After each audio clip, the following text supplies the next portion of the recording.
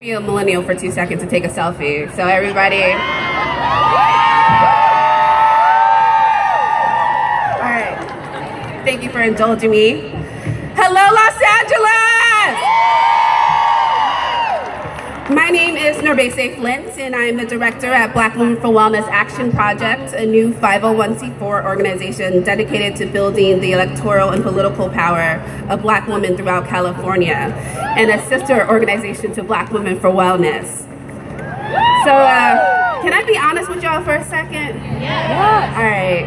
I was super hyped for 2018. Was anybody else like ready for 2018 to happen? So I was like, yes. I was like, on my new me, new year, hella cliche. And I was like, this year is going to be the year I'm going to go and get fit. This is going to be it. So I know a lot of you are like, why is she talking about her New Year's resolutions at the Women's March? Voting, much like getting fit, right?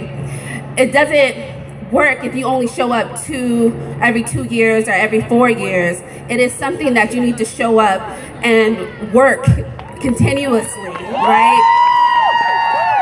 So, Los Angeles, I wanted to talk to you today about the work.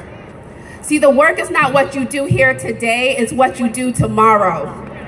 The work is not saying thank you to black women in Alabama for saving us from ourselves. The work is supporting black women to run for office, knocking on the doors, donating your dollars, and volunteering your hours. The work is resistance as a verb. The work is not being silent at the unacceptable number of our trans brothers and sisters being murdered for just being. So we cannot forget what is at stake.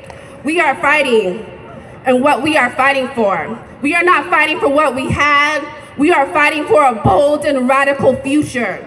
We are not fighting that, we are fighting that climate change is not a political pawn, but a mission we must solve. We are not fighting just for health care, but health as a right, not a privilege. We are fighting for a future where our girls don't need hashtags of Me Too's and Time's Up because we have dismantled patriarchy and rape culture. We are fighting for Madam Presidents. We are fighting for free black children. We are fighting for Muslims. We are fighting for the undocumented. We are fighting not just for us, for our children, but for the world that we want to see. And we cannot, we cannot be fooled that this is normal. It is not normal. We are not in normal times because we need to stay steadfast. We cannot be silent.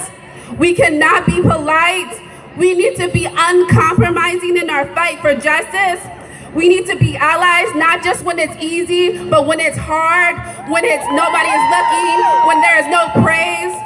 We have to resist and that we need to fight. We need to fight. We need to fight. We need to fight. We need to fight. We need to fight. We need to fight. We need to fight. And we will win. Thank you. Nourbese Flint.